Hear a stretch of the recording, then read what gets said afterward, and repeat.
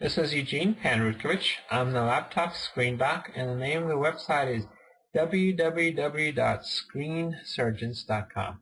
Today we have a HP G56 laptop, HP Pavilion G56 laptop with a cracked screen and we're going to show you how to replace the screen on the G56 laptop. Okay, so let's first go over the tools we need. We need an X-Acto knife with a point and blade. We need a pair of metal tweezers,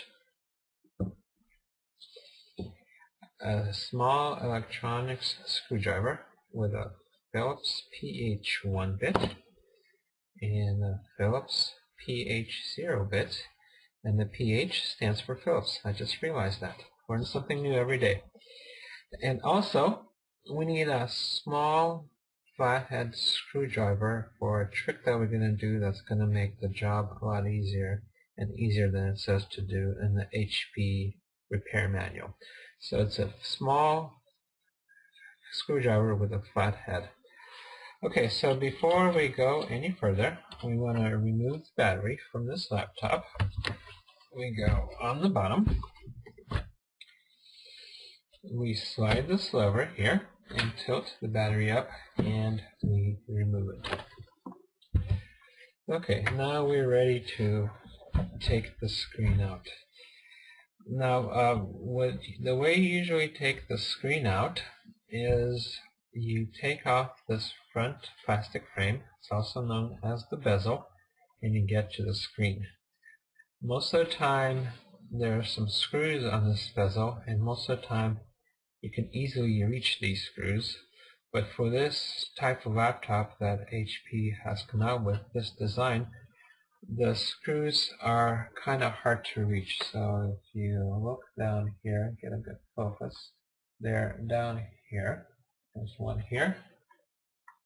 And if you look down here, there's another one here. It's hiding behind some plastic covers, so it's a little bit hard to see.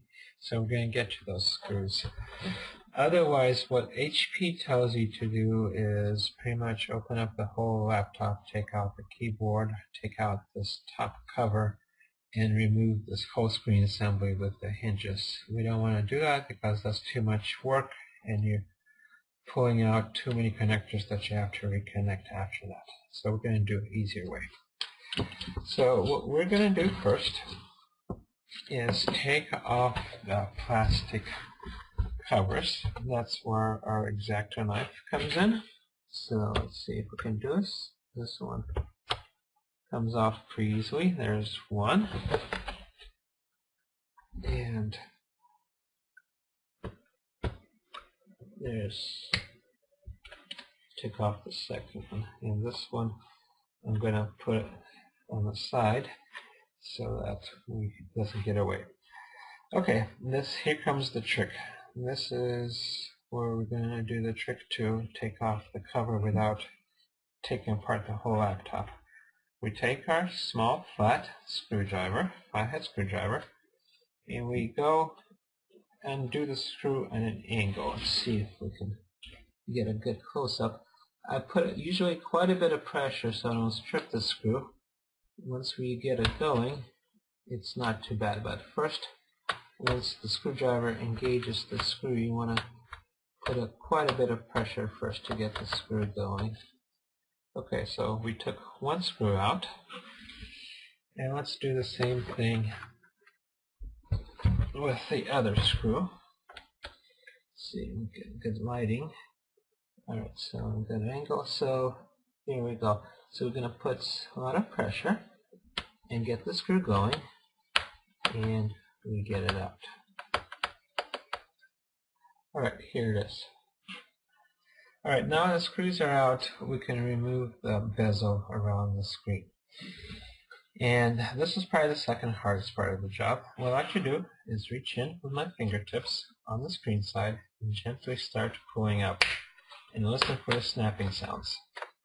Once you hear the snapping sounds, that's a good sign. That means the bezel is coming out.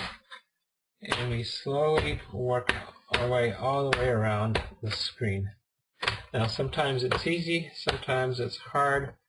if an area doesn't want to give, go somewhere else and see if it gives somewhere else and then come back to that area.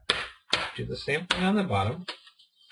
And the last thing we want to do, there's a seam at the bottom where the screen is connected, the bezel is connected. We loosen up this seam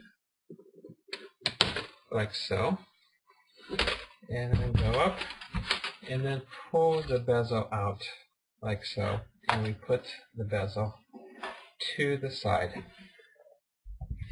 Okay, so next to remove this screen we need to get at some screws that are holding the screen on the metal mounting brackets on the side. There's two screws here and two screws here. Now some laptops you can get to the screws without doing anything else, but this one we can't quite get to the screws so we have to tilt the screen forward a little bit. So the first thing we're going to do is remove the two screws that are holding the metal mounting brackets to the screen lid. So that's one and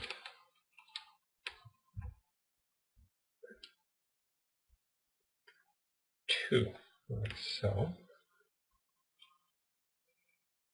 Okay, and what we want to do now is tilt the screen assembly forward a little bit, see if we can get to the screws. Now, we can get to the top screws, but the bottom screws are still hiding. That's where the next trick comes in.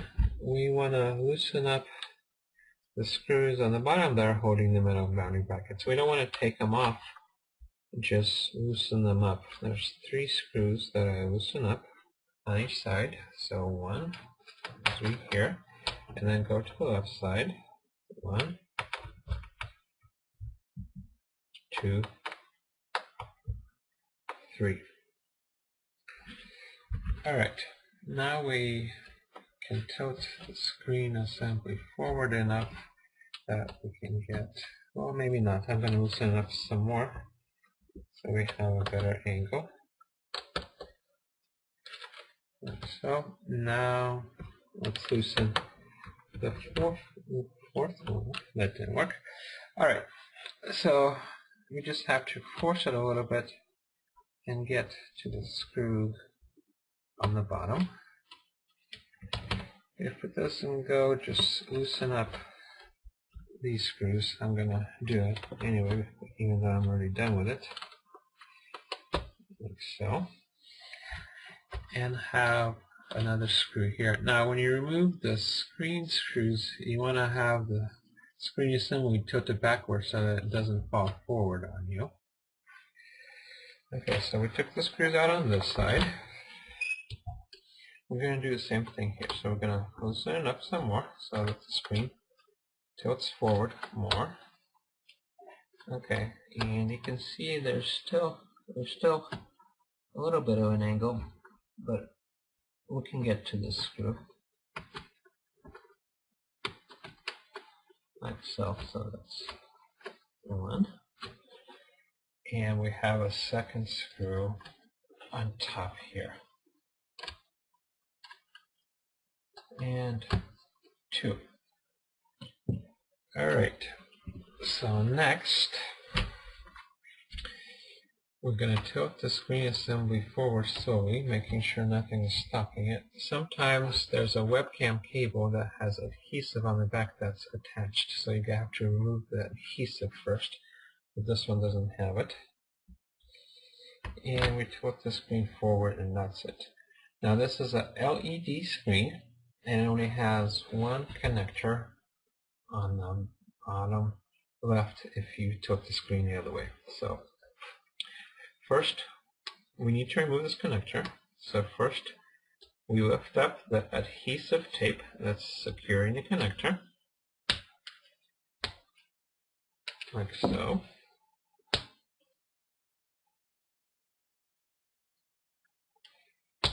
So once we do that, and sometimes there's adhesive on the back of the video cable. In this case, there isn't.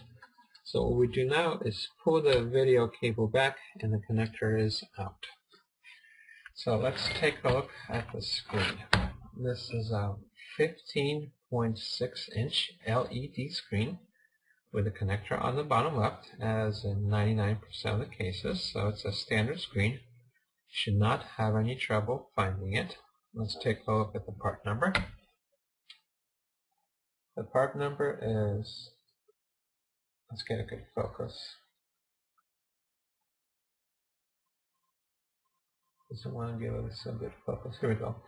LTN 156AT09 that's what you need to know.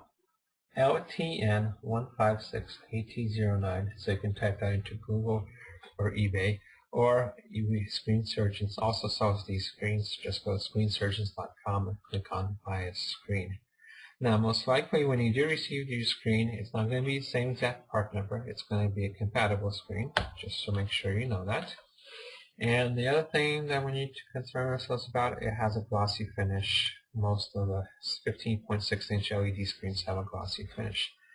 And that's it. So once you get your screen back in, you connect the connector again, put the screen back in, put the screws on the side. Make sure you tighten, not forget to tighten these screws on the bottom, put these screws on the top, put the bezel back on and put the bezel screws in and you should be good to go. And uh, that's it. Once again, my name is Eugene Panrikovich. I'm the laptop screen doc and the name of the website is www.screensurgeons.com.